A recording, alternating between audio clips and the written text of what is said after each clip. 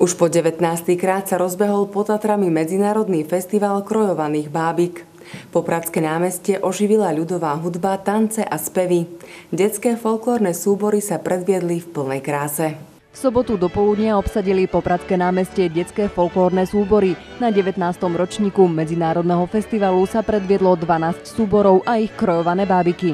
Babika má vlastne rovnaký kroj ako my a prezentuje náš súbor.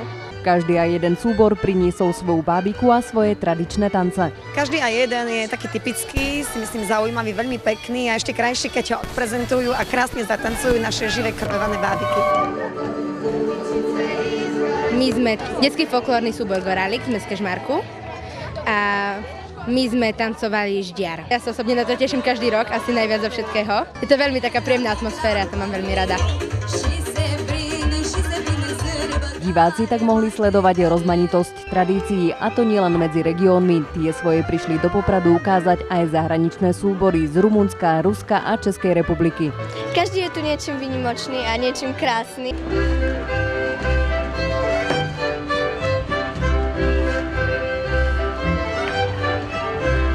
Spávajú národné piesne naše. Spievame ruské národné piesne, máme kroje z rôznych regiónov. Štili ich naše deti a rodičia im pomáhali. Deti pomáhali.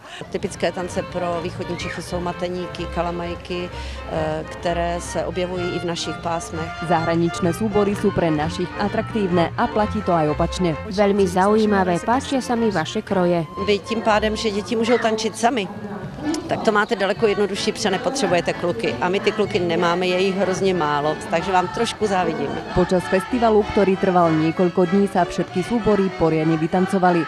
Majú za sebou množstvo vystúpení pre školy či seniorov a ich účinkovanie završil gala program na nádvorí Kežmarského hradu, kde si súbory navzájom vymenili krojované bábiky.